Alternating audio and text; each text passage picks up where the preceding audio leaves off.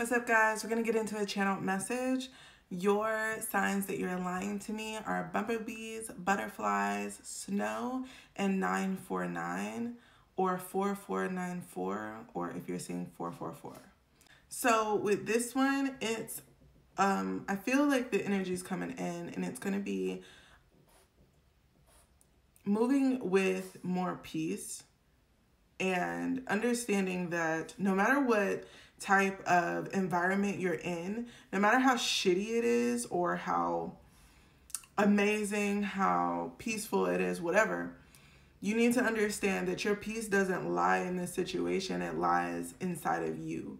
Wherever your mental state is, wherever your emotional state is, however volatile you are, your peace is there. So if you're wanting to have a more fulfilling life, the first thing that you are about or in the process of being taught. Some of you are have started the process already. Some of you are about to walk into the process of learning how to cultivate and maintain your peace.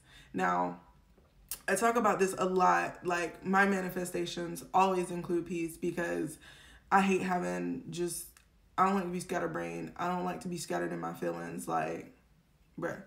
So when I say maintaining your peace, I feel like sometimes we go into a place where you want to be like, oh, you know, I'm making these strides, I'm making these achievements, I'm fulfilling this part, I'm fulfilling my part in society, I'm stepping into these different realms. But today, Spirit is kind of trying to reel you back into you and trying to acknowledge the fact that you can be you in those environments, regardless if it makes other people uncomfortable or not. You can fulfill your truth every day in the way that you walk through the world, being the whole version of you and not being remorseful about it. When you go into a job to work, into a role that you've create you've stepped into in some type of relationship or situation remember that you are you embodying the role not the role putting you on right? The role is not putting you on and wearing you through the process. And sometimes we allow our ego to put ourselves we allow our ego to assume the role as self. And then we feel boxed in. We feel like we're not going toward what we want, etc., etc. And sometimes those are telltale signs it's time to make a pivot. But for a lot of people I'm talking to right now, specifically, specifically you, yeah, you, okay, it's not about, it's about who you're being right now in your everyday life.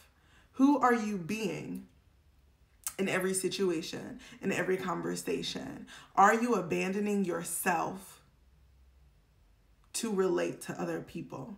Are you abandoning your truth to make conversation?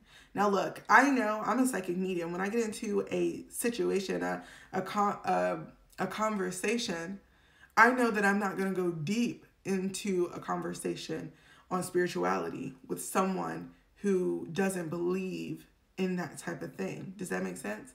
But that doesn't mean that I have to deny myself, who I am, what makes me feel like me in order to relate to that person because that person is also a reflection of me. Everything I see in them is a reflection of me, even if I don't like it, right?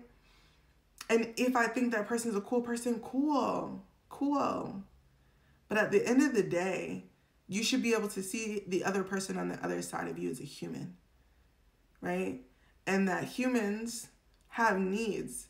And sometimes we need to get those needs met. But it doesn't mean that you have to suffer in silence to be somebody that you're not. Right? Be you. Be you. Okay? Set boundaries. Okay? And understand that sometimes we get really scared, especially in financial times like this, where we feel like we have to be doing A, B, and C, or else uh, said negative thing is going to happen. But the more consistent you are with your behavior, and the more you can show up and be yourself and be consistent, you'll never regret ever being yourself and allow other people to see you as the human that you are and either choose to love you, choose to be your friend, choose to favor you, or choose to deny the perfection in you that they can't see within themselves. And at those moments, instead of people pleasing, instead of trying to make them like you, love them anyway, but just move the fuck on. Just just move the fuck on. Okay? Like let them be that way because that's the way that they interact with themselves, not you. You are just a personification of what they're actually experiencing in life.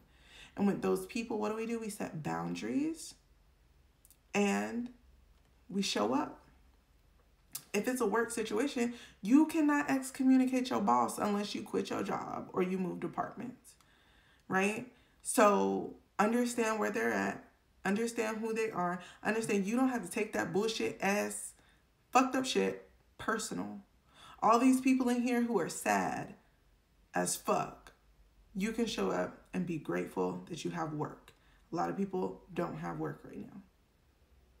You can show up and not think about not having work and start thinking about how can you take this and create sustainability with it. Stop allowing yourself to go into dark places and not have a way out. Sometimes we dive into the depths on accident unprepared. And when we get down there in that ugly ass shit, we start woeing as me. We start being sad. We start being like, why the fuck do I have to be here? When everybody else, or perceivably everybody else is out there living their best life. That's not the fucking truth. You could be up here living your best life too. And it ain't that many people jumping off a ledge talking about my live my best life, just to let you know. If you want to do it, be methodical and strategic. Life is strategic now. In this climate, life is strategic. You can't be doing things willy nilly like some of us think that it still works that way. And that's okay. Be strategic. Come up with a plan. If you want to exit a job, plan your exit. The fuck? Stop just up and quitting shit and then be broke as fuck. About to get kicked out of your spot. You know what I'm saying? Think this shit through, bro. Think it through, sis. You know what I'm saying? Get that shit together. How much money do you need to sustain? How long is it going to take you to possibly find a job? Do you have enough saved up in your bank account to sustain you that many months? What are your monthly expenses? Do you have any other stream of income that you could create while you're at this job? So that you don't have to be here. You just want to be there. Start making your moves now. While you got that feeling, that itch, it's time to make transition. Some of y'all have been blessed, okay, to jump the fuck off the ledge and land safely on a pillow somewhere. But most people jump off a ledge and, and hit hard ass ground. Okay? Stop stop willy-nilly and shit. Make the strategic plan and move. And it's all gonna be, you know what I'm saying? It's gonna be sweet. So take your time, plan it out. Okay? If you if you gotta leave, then leave.